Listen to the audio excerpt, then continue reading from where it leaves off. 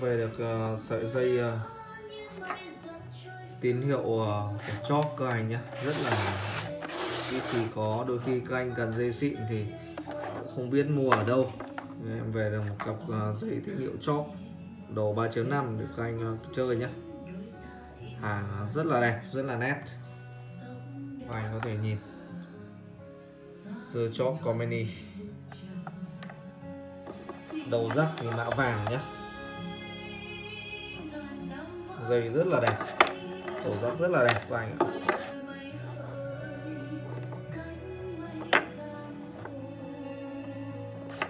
Tiếp xúc được mạ vàng 24k dây dài 1 mét nhé.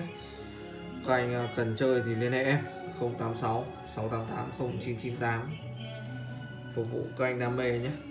Cảm ơn các anh.